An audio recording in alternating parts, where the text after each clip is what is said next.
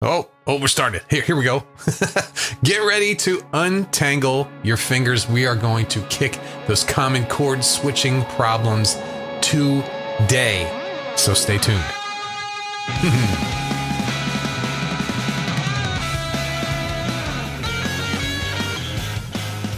Hello and welcome, friends, to this episode of the Play Guitar Podcast. I'm Lee, and this is the podcast that's determined to make you a better guitar player, no matter if you're just starting out or you've been playing for years. This is the show that will help you become the guitar player that you always wanted to be. If you are new here, hello, welcome. Make sure you subscribe to the podcast and check out the description for all the links from the show. hey there, players. Before we dive into today's topic, I'm going to remind you about the private podcast, the Academy members private podcast. If you're looking to get some more from this, take your playing to the next level. This is the perfect opportunity. You can get exclusive access to more, to in depth insights, practical tips. And also, speaking of tips, in today's Private Academy episode, we're tackling one of the most common challenges guitar players face, and that is smooth chord transitions. I'm going to share some other strategies for improving finger strength for improving dexterity, mastering chord shapes, and the psychological stuff, the fear of making mistakes or the self doubt things. But that's not all. On Thursday, we're going to be taking chord switching to the next level with chord switching 2.0.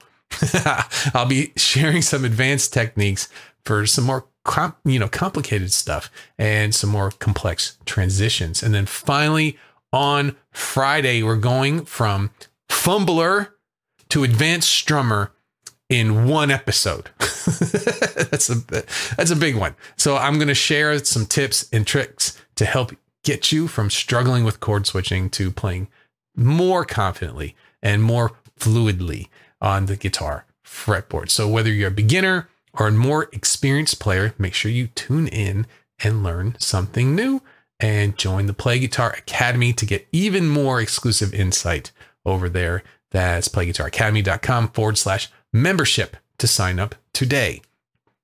Are you tired of feeling like your fingers are in knots every time you try to switch a chord? Don't worry. I've been there. There's a, a lot of us have. You're not alone not many people pick up the guitar and start playing chords right away. There's a little bit of a learning curve there. And sometimes we can get stuck. In this episode, we're tackling the common problems of difficulty with chords and moving between chords. We'll explore some of these strategies for improving finger strength, improving your dexterity, mastering chord shapes, and the other things too.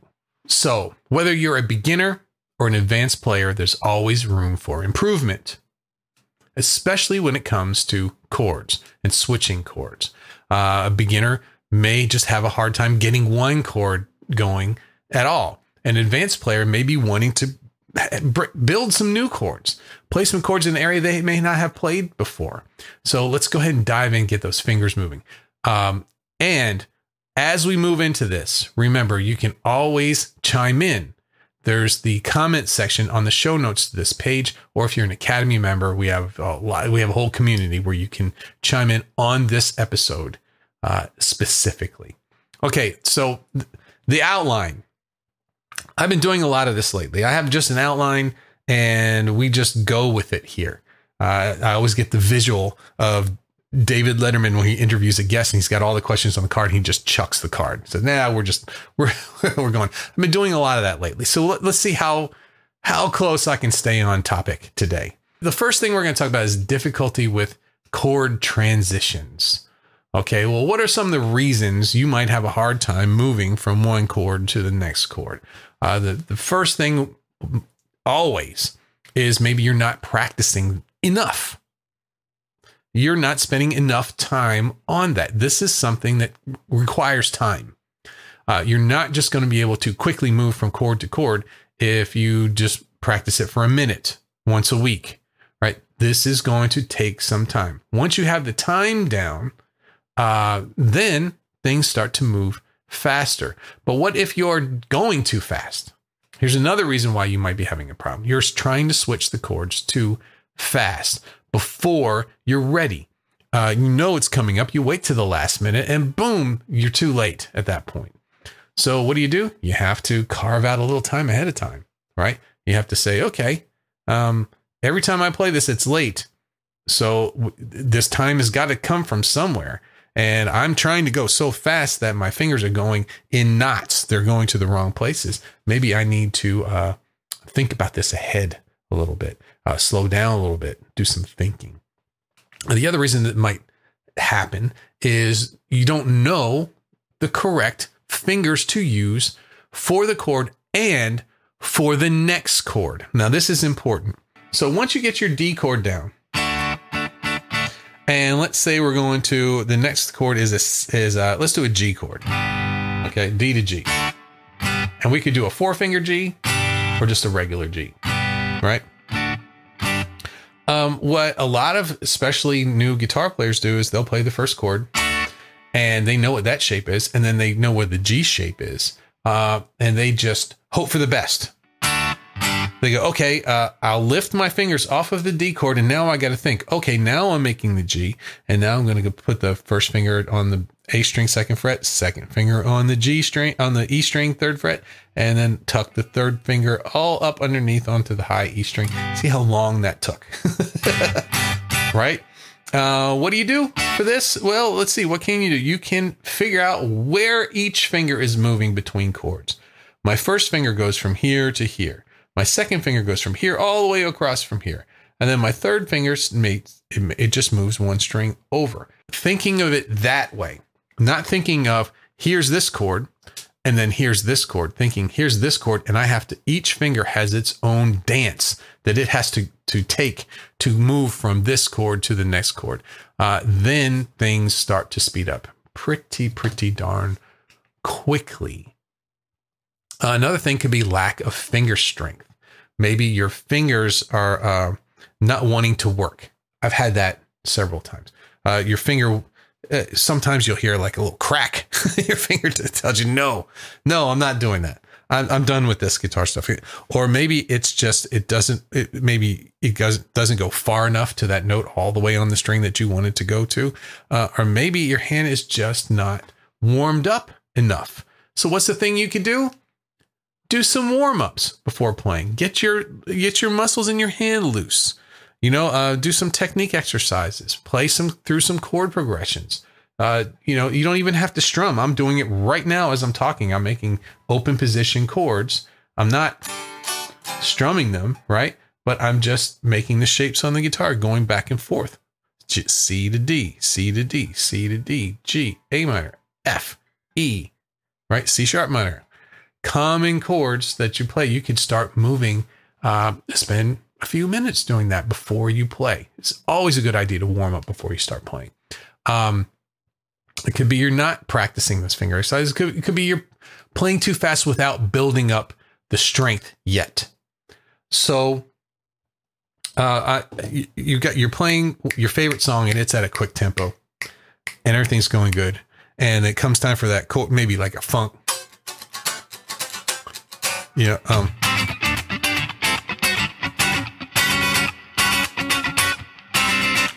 And maybe it has quick chords that go back and forth, back and forth, back and forth, and your hands just seize. So maybe you might want to start to build the hand strength by starting at a lower tempo, lower the beats per minute. Try working up to that smoothly, like you're a weightlifter. I've said that a lot lately. This is like lifting weights. Uh, you go too fast, you get sore, you burn out, but you can fool your body into building muscle by small increments, small increments, uh, and giving yourself time to rest too. It's it's just like building muscle.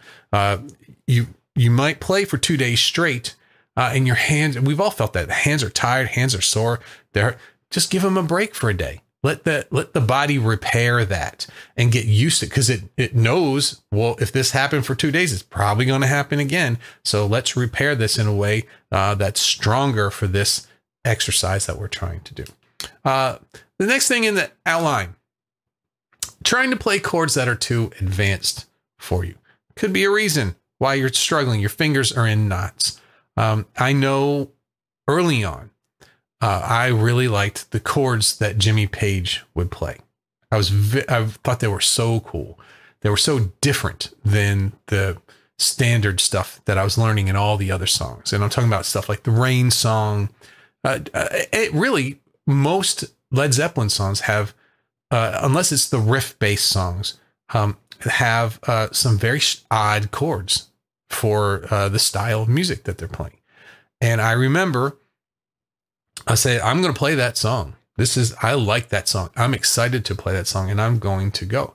And I would try to play these very odd shaped chords and uh, got exactly what the title of this podcast is. My fingers were twisted in knots. So, what I would do is I would try to play, okay, well, if this is like in uh, a C major seven chord, well, I'd just try to play a C at first, uh, something that I was familiar with. And then one chord at a time, try and get to, I'd add in the fancy chords. So, one thing, and this is something that I, I learned playing in jazz bands early on, is that even if you have a chord that says, you know, like, uh, it's like a flat nine or, or, like a, you know, just all the different alterations that you hear about those chords. And, and most people just go, I don't know. I don't know what that is. Right. But what I found is that a lot of those uh, are just decoration. A lot of them are. And you can play the functional chord underneath in place of that. So if you have, you know, um, a major nine chord, well, you could play a major seventh chord that nine is not a functional note. It's a it's it, it it's a decoration note. So you know if you were playing a um C thirteen or something like that, well you just play a dominant seventh chord in place of that, and it would it will sound great. It will work. Uh, and then once you build up to that, you can start adding the stranger notes that tie your fingers in knots right there. So that there's there's a little tip too. Um, so the other thing that can leave your fingers in knots is not practicing your chord changes in the context of the song that you're wanting to play. So you might be able to play the chord on its own. Yeah, I can do that. Here's a here's an odd shaped chord, right? I don't even know what this is. I'm just randomly putting my fingers in knots. Here, let's do let's do um that's cool. That's a major seventh chord diagonal shape across the, the guitar, right? And then the next chord, let's say, would be that's a let's see, let's do it back one. So this here's a D major seventh, and then we have an E minor eleventh, right? So those two chords, if the, if these were the two chords in my song, I know you're thinking, well, this is rock. I don't play that stuff. Play some Chili Peppers. Sometimes you're going to be playing some some cool chords. John likes to play some cool chords. That's all I'm saying. Um, so I can play that and I can play this one. I practice them on their own. But then when this I play them in the song, I get the first one, and by the time I'm done with the first one, the second one has already passed. I didn't even get to it yet.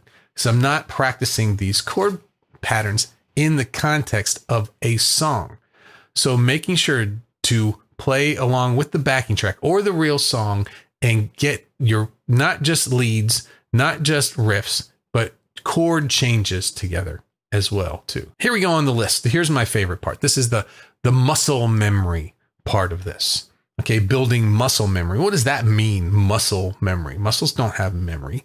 Your brain has memory. Well, guess what? Your brain is in charge of your muscles.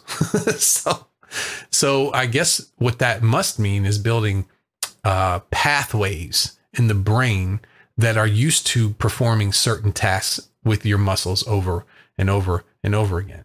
So, how do you do that? How do you build muscle memory?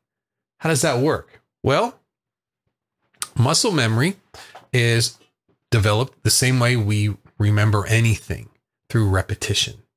And if you're not practicing enough, if you're not developing your skills on a routine, on a daily basis, uh, you're having to, to, to perform this fight over and over and over again. So every time you want to play that difficult chord, you have to relearn it. Your short term memory is gone.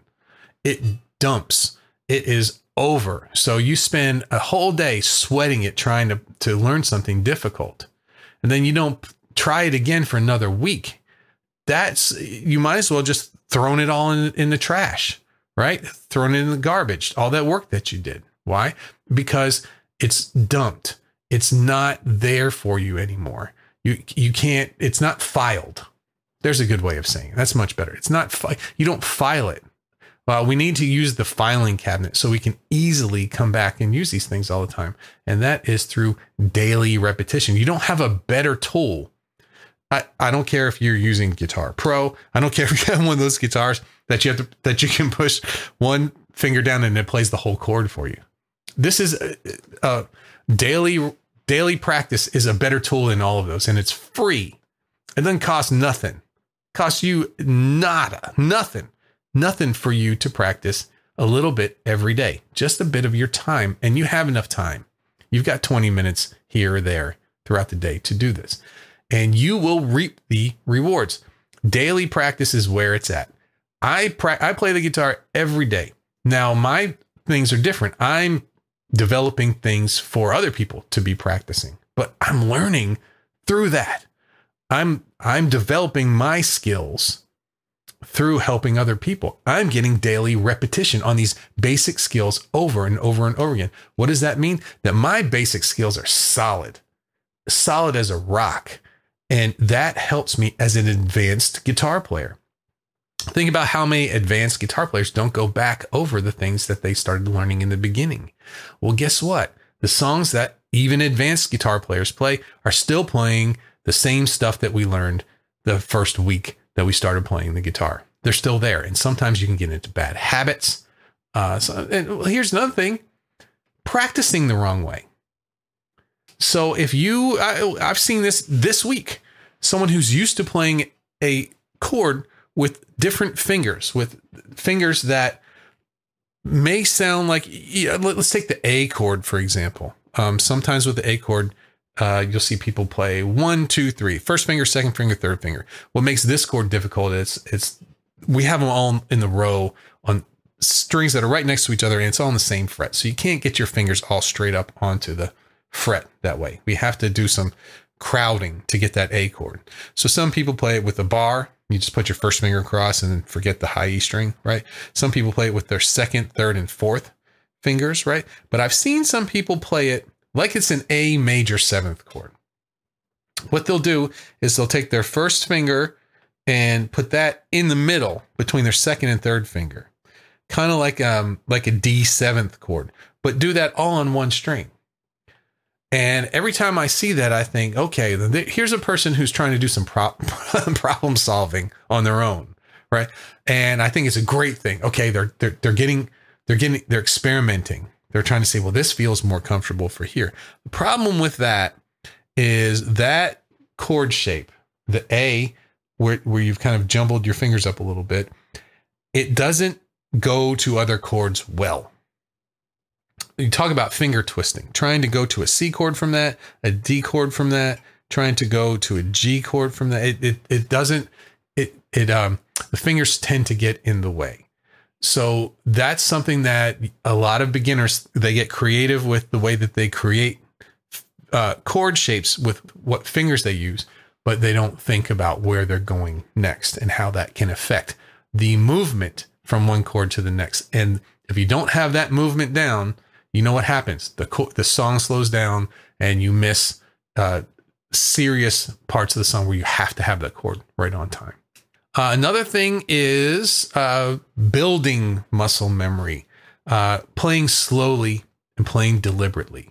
If you can play something correctly slow, then it's not much more to be able to play it fast. It's just repetition at that point. But if you're playing something incorrectly slow, there's no way that you're going to be playing it correctly fast. It just doesn't happen. So we all have to spend that time. It feels like we've got the training wheels on something. I don't want to do that. I've been playing for 30 years, 40 years. I don't need to do that. Well, yeah, yeah, you do. because you're playing it incorrectly. Uh, and so if if you're if you've got a chord that's just not working, slow it down get used to feeling how your hands feel when you play it correctly at a slow tempo. And it's very easy to speed things up over time with repetition. Timing and rhythm issues. So, one of the most difficult things to teach for new students, students who are new to the guitar or new to an instrument in general, one of the most one of the most difficult things to teach is rhythm. Uh, it, how to communicate that. How to some people will play offbeat and and they're not even realizing it. They don't see that it's they're not that, that what when they play is not lining up with what what everyone else is playing, right? Uh, so timing and rhythm rhythm issues are very very tough to beat. If you're struggling to keep the beat, uh, you need to start to practice that. You need to practice along with a solid beat. If you don't know where the beat is, uh, you're always going to be guessing, and it's not going to work. So, uh, what people do is they they they build an internal clock. It's kind of like building your ear with music. This you can also build uh, an internal clock, and that's from using something that will give you the exact beat and you get used to playing with something called a metronome. Uh, a lot of people shy away from the metronomes. They say they don't they don't have feel. No, they don't. They're clinical. They they will play exactly what you ask them to play. Not all of them do though. Sometimes now you can play over drum loops as a metronome, uh, and they'll have a little bit of feel to them as well. But I like to play over the clinical metronome because if you can play over that, and get a good feel. Then in real life, when you're playing with just a group of people, you're not playing to a click. Um, you'll be used to that. You'll be used to playing in time, uh, and you you can bring the rest of the people along with you with your good timing. Breaking down the difficult passages into smaller parts and focusing on timing can help.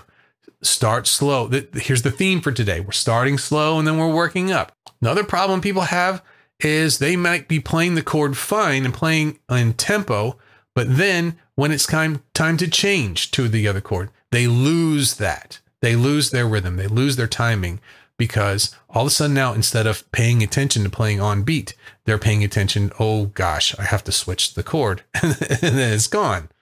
Right? So losing the tempo, not being able to keep up with the beat when you're transitioning between those chords. So what do you do? We get some exercises for improving chord transitions and timing at the same time. Um, practicing chord transitions in different orders, maybe choosing three chords and just going back and forth, back and forth, using a drum track, using a backing track, using a metronome, and going back and forth. Here's another part to this where your fingers can get all jumbled up.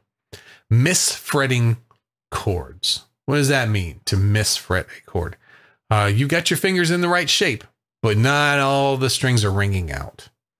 Uh, that comes down to finger placement, thumb placement on the back of the neck, and the where your elbow is, and also how high or low you are holding your guitar. If you have a strap that's really high or really low, it's going to change the way your finger position is. Misfretting chords, double checking your finger placement and hand position is extremely important. Spending some time looking at where your fingers are. are they too far back on the fret? Are you accidentally touching other strings? Uh, how do you practice that? Same as everything else. Slowly, deliberately, visualizing yourself playing the chords correctly. You can use those techniques to picture the chord shape and picture where you're going to place your fingers as always, I love to feature the psychological element to these things. Why? Because that seems to be common. Uh, I see it plain as day. We have a lot of fear in playing guitar. Shouldn't be. It should be the most fun you have all day. But there's a little fear in that too. Fear of making mistakes. Fear of feeling embarrassed about making mistakes in front of other people. Overthinking becoming tense will ruin your feel, right? If your muscles are all tense and you're trying to play a New Orleans, you know, like a lazy kind of song, it's not going to sound great, right? Worrying about what other people thinks and then becoming tense is is common. So how do, what so a lot of people will do is they'll avoid chords that they're having you know they know that they're going to have a hard time with challenging chords. They'll avoid challenging chords. Um, they'll have self-doubt. They'll feel frustrated. They'll feel like progress is not being made compared to the other people that they see playing and also a lack of motivation to practice. Say that you have a little bit of fear and you're not going to sit down and and spend the time it's going to take to make sure your fingers go to the right place that you're not twisting your fingers around.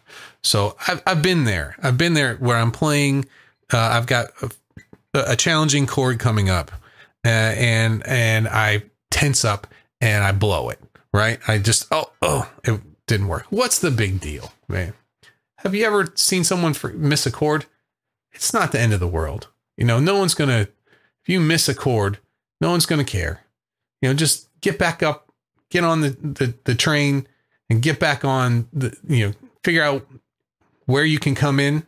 You know, a lot of times people get lost in a song. Uh, if it's in the middle of a chord progression, the best thing to do is sit out and wait till that chord progression starts over again, right? Instead of hunting for. So here's the example. As I'm playing C and G, and see my fingers got twisted going to, to the G and it didn't work. Let's say I've got a D minor back to a G and then starts at C again, right? So if I mess up on the second chord, I'm not going to keep going up. There's a second one, and then they're they're all going to be out of time, and you've not given yourself time to regroup. So what I will do is I'll go see, Here's the chord I mess up. Two, three, four, one, two, three, four, one. Now I'm back in where C.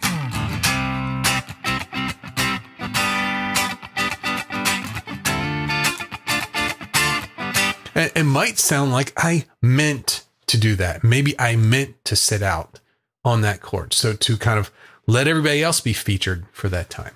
So it, it, there's a lot of different things that can contribute to your fingers getting twisted up. And really just slow, deliberate practice. Learn about where your difficulties are. Spend the time to say, okay, yeah, every time I play that chord, it's not working out right. Uh, then put that, be intentional with your practice. These two chords aren't working out. Uh, till I can get these two chords down, this song's not going to sound right. So I obviously have to work on these two chords. Okay. All right. So, what's the next best step for you? If you're interested in going to the next level with your chords and you want to clear them up, I have something for you. It's called my guide to clear sounding chords. It's over at playguitaracademy.com forward slash chord guide. And you will be able to make all of the adjustments for all of the open position chords, make sure they sound great, and even some other ones as well. And it takes you step by step, finger by finger, talks about where your thumb placement should be.